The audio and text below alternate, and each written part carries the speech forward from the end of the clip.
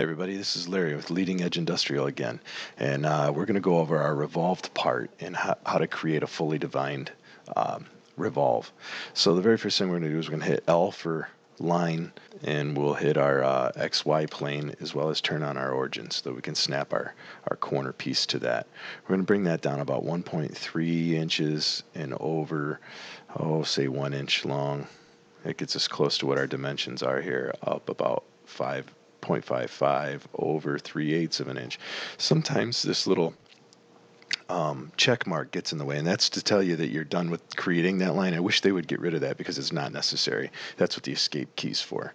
Um, one of the things that I preach all the time is using. Um, we'll make that 3 eighths of an inch. Using one hand on the mouse, one hand on the keyboard. It makes you much faster to do that. So, you know, why they need to have that is beyond me, but let's see if maybe we can't get that um, changed in the future, maybe uh, hit a design request or something.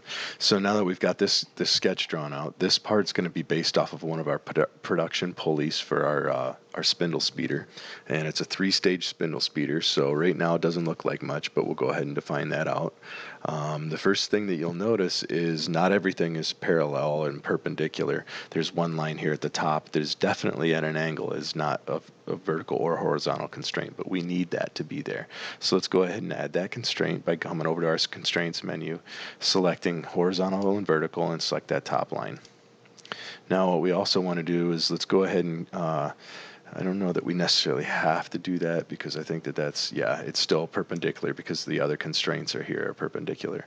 So the first thing that we want to do is in order to uh, lock this down, as you can see, I can move all the geometry around. That's not a good thing if we want to make a part that, you know, that we're running in production. So we want to make sure everything's locked down. Let's go ahead and do D for dimension, and we'll just start dimensioning this out based on the drawing. Uh, every once in a while, I've noticed that that dimension tool will just snag a line or something that I had uh, before, touched before. So let's, um, sometimes you just have to um, hit it a couple times. And of course, you could always just start dimensioning with that, but I didn't want to. So uh, this dimension is 1.312 inches. This one here is uh, 0.99 inches. The top dimension is 1.5 inches from this wall to here is 1.375 inches. And then we're going to dimension this part here as 0.375. Now, there's still one point here that isn't constrained. As you can see, everything else is a black line. That means, it means it's constrained. I mean, I can't drag it in and out, but I can drag this line up and down. And the reason why is I'm not going to add another dimension here. Um, I know that these lines are supposed to be the same size because we're using a form tool to form the V on here. So in order to do that, I just want to apply an equal constraint. So I'm going to select both of those lines and then go to our constraints menu and hit equal. Now both of those lines are the same. As you can see, everything's locked down. We have one more line to add, and that's going to be for the shaft for our, um, our spindle shaft. And we'll define that as hit dimension key, or the D key, and dimension that 0.102. And now we're done with our revolve here. So um, there are two ways to go about creating the geometry that I'm about to create. One is to continue creating geometry on this sketch here, but then it becomes a little messier and a little hard to see. So I'm going to create two separate sketches. Um, and I'll show you why as we get going. You'll see some of this stuff gets a little bit confusing. So rather than confuse, I'd rather just go ahead and uh, um, do that part later. So let's go ahead and do a revolve select on the geometry we want revolved, which is just this right, right hand side over here, and then the axis we want it to go around, and select there. Now we've got our pulley. We've got the basic shape of our pulley. Now we're going to come in and we're going to add the V shape.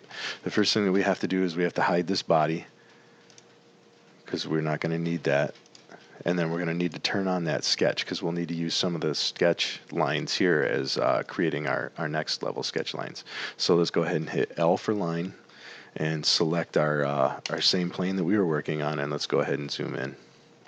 Um, we're creating a V-belt pulley here, so what we want to do is sketch in three V profiles since this is a three-stage gear. So I'm going to go ahead and sketch those out here real quick, and then we'll come back in and we'll add in our constraints and dimension it.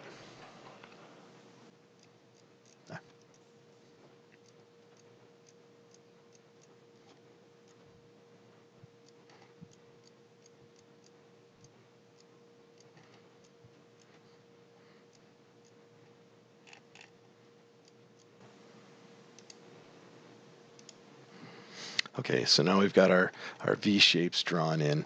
I did this a couple different ways on here. Um, the top two are different than the bottom one, so then I could create that, and I want to show you why, because I want to be able to move this around here, and we'll snap it to that line later. Um, but for now, it may make creating the geometry a little bit easier. So we're going to go ahead and we're going to start off with the top profile here. And uh, let's go ahead and, and fully dimension this top profile out. The first thing that we want to do is, uh, before we do that, is select these middle lines here. And let's turn those into construction geometry by selecting them and hitting X. That turns that into a dotted line, which is we now know is definitely construction geometry. Uh, the next thing we want to do is we want to add in a perpendicular constraint. And we'll do this for all of these lines here. Okay, and I'll go back up to the top. All right, so from here we're going to go ahead and hit D key for dimension, and we know this back line here is going to be 0.188. We know that this dimension here is going to be 30 degrees, I'm sorry, 30 degrees. And we want to have this line here be snapped to a midpoint, so we're going to create a midpoint constraint. So let's go down over here, we're going to click midpoint, I'm going to select the end of this line and the short line here. There we go. Now everything's going to be symmetric based off of that. Then the last dimension we're going to add is right here. This needs to be 0.156. There we go. Now, uh, it's still blue because we haven't defined the location on this surface where we want to have it. Well, I want it dead in the middle. So what we're going to do is go down and create another midpoint constraint. We're going to grab this endpoint here, and we're going to grab this line. And now everything's well defined. And as you can see, this part here is locked down. Well, the same these three triangles or these triangular shapes are all going to be the same size. So what we're going to do is we're going to apply some equal constraints to them and then that way it saves us some time as well as now all we have to do is go in and change one instead of changing all three um, whenever we make a design change. We can just go in and make one change. So the very first thing is let's go ahead and snap these uh, these middle lines to be the same length. And what we'll do is we'll select all three of them at a time and hit equal now those are all the same. Let's do the same thing for the backbone here. And hit equal. Now those are all the same. And then also for this line here. Oh, not that long line. We want the shorter of the long. We're going to go over orphan geometry. This is kind of create, you could create orphan geometry by having short lines on top of other, um, but uh, we'll talk about that in the next sketch because there's a couple of examples of that. We want all those to be equal. So no, those are equal. And then this applied a, uh, a perpendicular constraint. We don't want that there. Sometimes the CAD system will apply that because it doesn't know exactly what you're trying to do. And, uh, you know, um, we don't necessarily need that to happen. So let's go ahead and we're going to do a, a midpoint constraint on this line here. And it doesn't look like, why isn't that look like that's a midpoint to midpoint? Looks like it's probably not. Let's do uh, another midpoint constraint here with this line here.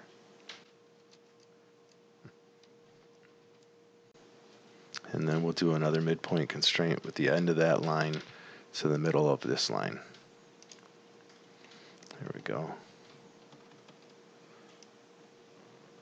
It didn't constrain it. Okay, so let's go ahead and it, sometimes it takes, I may not have selected the right point there. Hmm. It's still not wanting to cooperate.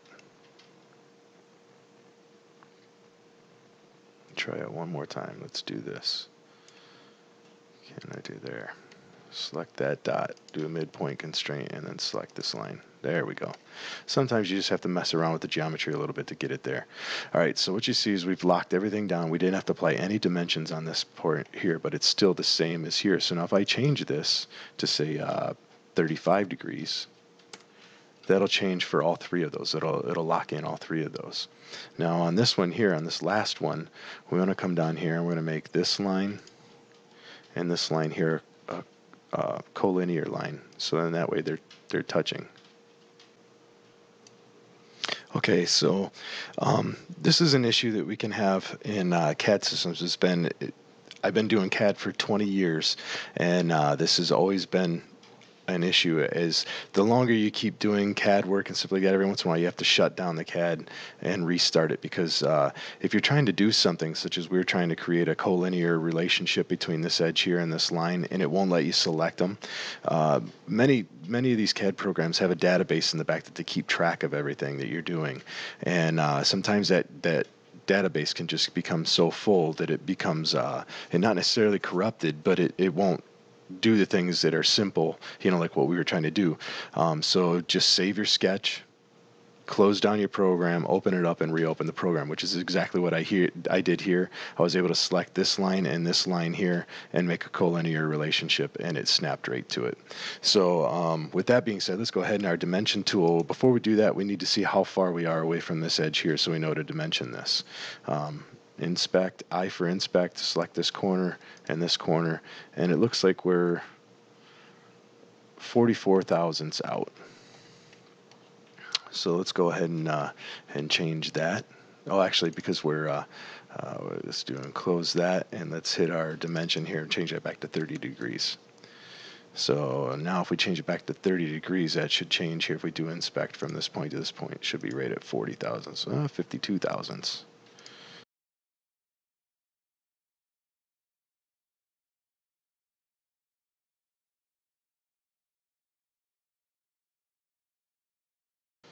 And now all of our features are well defined. So we can go ahead and uh, we'll hit our stop sketch and we're going to turn our body back on, unhide the body, and we're going to want to do a revolve. And we're going to go back and we're going to select each one of those divots or those V slots that we wanted to, to do. We'll select the axis as being on that original sketch there. And now when you do a revolve on a revolve, the second one is a cutout. So we say OK, and now there's our pulley. But everything's fully defined. so it took us a while to get this one going here. However, you'll see on the next uh, video number three why we did this, why we spent so much time going through that. So uh, please leave questions, comments below. Uh, click like and subscribe if you like our videos and want to see more of them. And uh, I look forward to seeing you on the next video. Thanks. Bye.